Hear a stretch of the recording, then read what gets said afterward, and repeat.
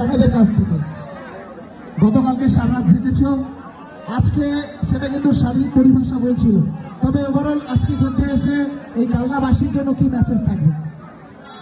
আর প্রথমে বলব আমার বাড়ি অনেক দূর আমি প্রায় পাঁচ ঘণ্টা জার্নি করে এসেছি। কমিটির কাছে ক্ষমা চেয়ে নেব যে আমি একটা বর্তমানে জামি ফাঁসে থেকে তার জন্য আর আমাদের লেট হয়।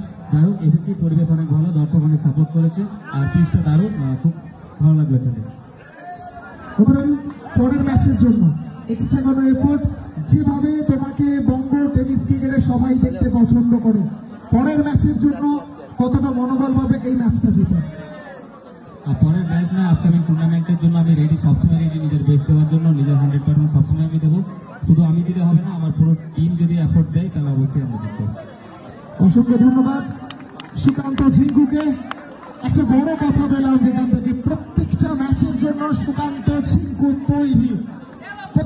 টুর্নামেন্টের জন্য তৈরি এই জন্যই তো বঙ্গ টেনিস ক্রিকেটের Sukanta Singha one man army Singha, Sukanta Jhinku